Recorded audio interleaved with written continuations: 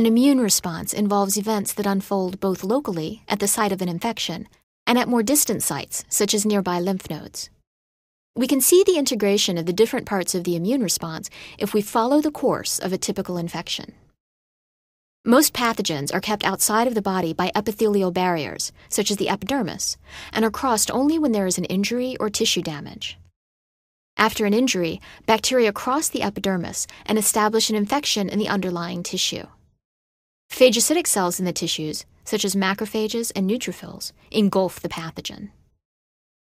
Dendritic cells are also phagocytic and are activated by binding pathogens to leave the site of infection and migrate to a lymph node. The migrating dendritic cells enter the lymphatic vessels and are collected in a draining lymph node.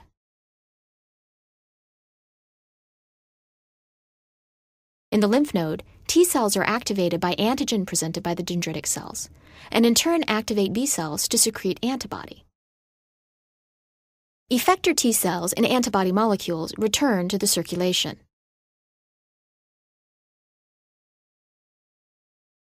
They leave the circulation again at the site of infection, where inflammatory mediators have induced changes in the blood vessel endothelium.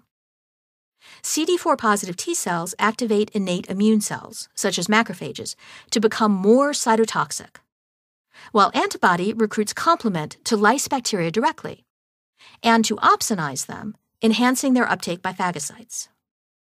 In the case of a viral infection, activated CD8 positive T cells would kill any infected cells present.